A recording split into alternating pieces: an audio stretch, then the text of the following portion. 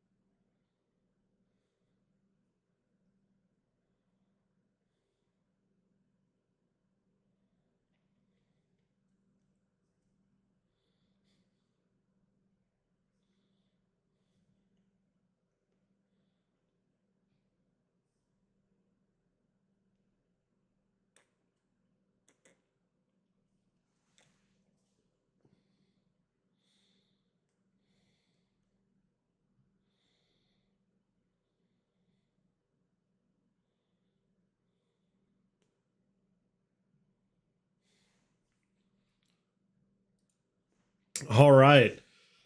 So, as you just saw, apparently he can, in fact, know the sweet solace of death, but it takes a whole hell of a lot, and the enemy just has to keep getting stronger and stronger until finally they're able to ping him down.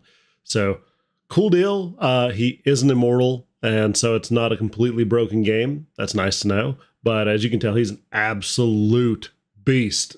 Does not stop, cannot stop, won't stop.